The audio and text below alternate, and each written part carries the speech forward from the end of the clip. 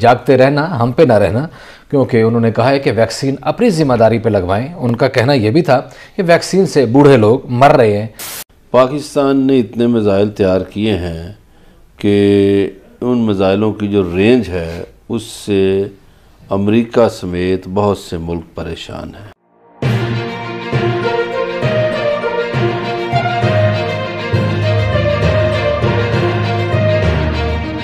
जागते रहना, हम पे ना रहना, क्योंकि उन्होंने कहा है कि वैक्सीन अपनी ज़िम्मेदारी पे लगवाएँ। उनका कहना यह भी था कि वैक्सीन से बूढ़े लोग मर रहे हैं। एक जिम्मेदार हुकूमती शख्सियत की तरफ़ से और वो शख्सियत जो सेहत की उम्र को देख रही है, इस ऐसे गैर जिम्मेदाराना बयान के बाद बहुत सारे लोग मखमसे का शिकार हो गए हैं कि वैक्सीन लगवाई जानी चाहिए या नहीं। कल परसों यही बात बरहा बार बार की जा रही थी। तमाम टी वी चैनल्स और अखबार की शाह सुर्खियों की जीनत थी। हम बहुत खुश थे। चीन से हमें वैक्सीन मिल गई है और कोरोना से सताए हुए लोग जो हैं वो उससे बहुत ज़्यादा खुश हो रहे थे कि वैक्सीन आ गई है। इस मौके पर यास्मीन राशिद साहिबा ने एक साफ़ियों से बातचीत करते हुए एक बयान दिया। बल्कि मेरा ख्याल है, मैं आपको पहले वो बयान सुना देता हूँ ताकि आप उनकी गुफ्तु उन्हीं की ज़बानी सुन लें। फिर हम उसके ऊपर तबसरा लेते हैं। यास्मीन राशिद साहिबा ने क्या कहा? ज़रा वो सुनाइए। सबसे बड़ी ये बात है कि हर इंसान वैक्सीन अपनी जिम्मेवारी पे लगाएगा। कोई ज़बरदस्ती तो किसी को नहीं लगा सकता वैक्सीन।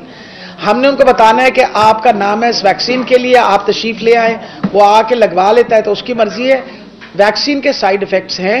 वजह यह कि ये ऑलरेडी ऑन रिकॉर्ड हैं कि जो बहुत ज़्यादा कमज़ोर लोग थे बूढ़े लोग थे बाहर के मुल्कों में उनको लगी उनमें से कुछ की फौतीत की हुई है। जी वैक्सीन अपनी ज़िम्मेदारी पर लगवाएँ और बाहर के ममालिक में कुछ बुज़ुर्गों को वैक्सीन ये लगी है और उनकी फौतगियाँ हो गई हैं। अच्छा जी अजीब सूरत हाल है पूरी दुनिया में कि जिन मुल्कों ने भी वैक्सीन तैयार की है उसमें बता रहे हैं जी इसमें 80 परसेंट रिज़ल्ट है कोई 90 परसेंट कह रहा है कोई 70 परसेंट कह रहा है। और इसके जो रूट काजेज हैं उसकी तरफ़ अभी तक कोई नहीं गया। अभी दुनिया इससे नहीं निकल पाई कि कि नए वायरस के लिए तैयार रहें। सही। तो इसका मतलब है कि कोई और वबा आने वाली है। सही है। वैसे ये जो एस्ट्रोलॉजर होते हैं ये जो नजूमी नजूमी या फल्कियात के माहिर होते हैं फल्कियात। उनका भी ये कहना है कि इस साल एक नई वबा आएगी। अच्छा। और जो कोरोना से ज़्यादा डेंजरस होगी खतरनाक होगी। अल्लाह साहब तो डरा रहे हैं सही बात है बड़ी अब इसमें छूटी थी कोरोना से कुछ। देखिए इंसान जितने भी हैं इंसान जब खुदा को चैलेंज करना शुरू करते हैं सही है। तो अल्लाह ताला तो अल्लाह ताला है। सही इस कायनात का सब कायनात का मुतलिक है उसकी मर्ज़ी सब जानों का क्रिएटर है न्याज है। उस अब देखिए कि एक ऐसा वायरस आ गया कि ये साइंसदान पकड़ ही नहीं पा रहे। हम्म। इनको समझ नहीं आ रही। तो पूरी दुनिया को बेबस करके रख दिया। पूरी साइंस बेबस होकर रह गई। जो कहते थे ना हम तो मौत का इलाज निकालने वाले हैं उनको बता दिया कि भाई ये वायरस का इलाज आपके पास नहीं है मौत तो बड़ी दूर की चीज़ है। ऐसे ही ठीक होगा बिल्कुल सही। अब चीन हमारा दोस्त है। हम्म।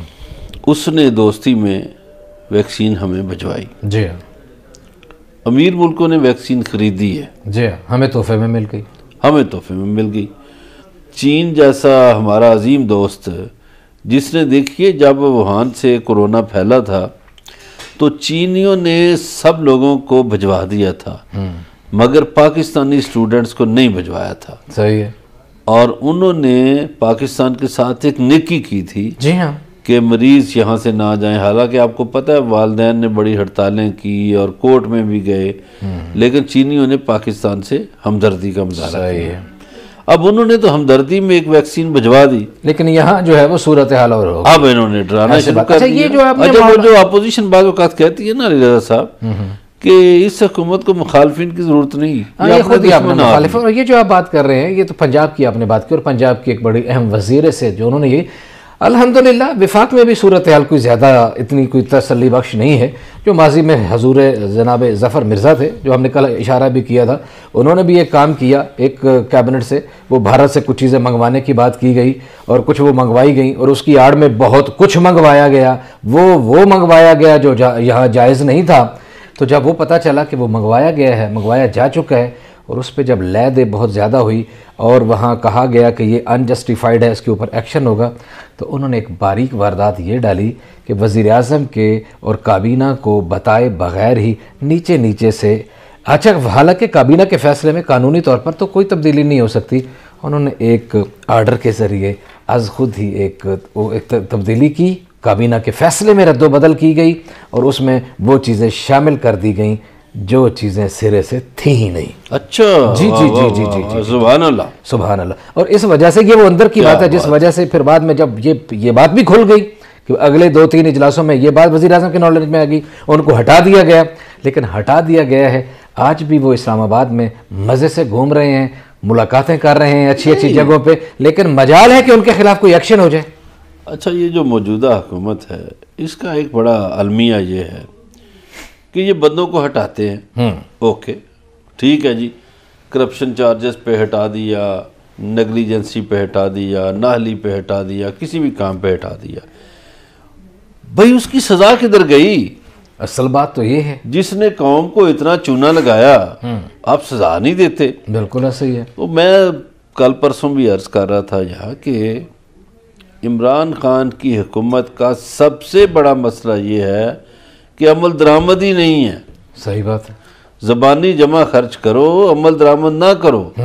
अब बंदे हट गए आपको दो तीन वज़ीर हटे करप्शन के इश्यूज़ पे। जी हाँ। किसको सजा मिली? किसी को भी नहीं मिली। उनसे पहले भी एक ठीक है। थे।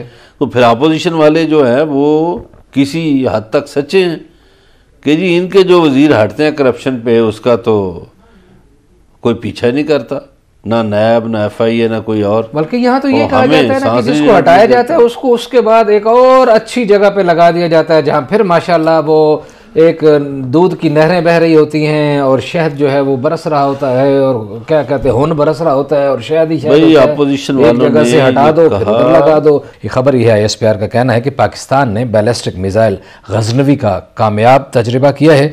मिसाइल जो है ये रवायती और जौहरी वार हेड हथियार ले जाने की सलाहियत रखता है और इसका तजर्बा जो है आर्मी स्ट्रेटजिक फोर्सेस कमांड की सालाना मशकों के मौके पर किया गया। इस मौके पर लेफ्टिनेंट जनरल मोहम्मद अली जो है वो भी मौजूद थे। उन्होंने भी ये देखा है और इस पे दीगर साइंसदान भी थे फोर्सेस कमांडर भी थे और इंजीनियर्स की बड़ी तादाद मौजूद थी। मजहर बल्ला सब ये तो जो हमारे मुहाफ़ हैं वो जाग रहे हैं और इस मुल्क के दिफा के लिए हर वक्त मुस्तैद हैं। अच्छा देखिए जी हमारा जो मिज़ाइल का निज़ाम है वो बहुत शानदार है। जी। पाकिस्तान ने इतने मिज़ाइल तैयार किए हैं कि उन मिज़ाइलों की जो रेंज है उससे अमेरिका समेत बहुत से मुल्क परेशान हैं। कि दुनिया का मुकाबला करने के लिए हम बिल्कुल तैयार हैं और अल्हम्दुलिल्लाह। दुनिया उनको सराहती है। दुनिया उनको हमारी टेक्नोलॉजी को सराहती है। जी अगली खबर की तरफ़ बढ़ना है। जस्टिस फायज ईसा ने वजी अजम इमरान खान की जानब से अरकान असम्बली को तरक्याती फ़ंड देने के मामले पर खुद नोटिस लिए है और उन्होंने अटारनी जनरल को हिदायत की कि बताइए क्या ये आइन और कानून के मुताबिक है?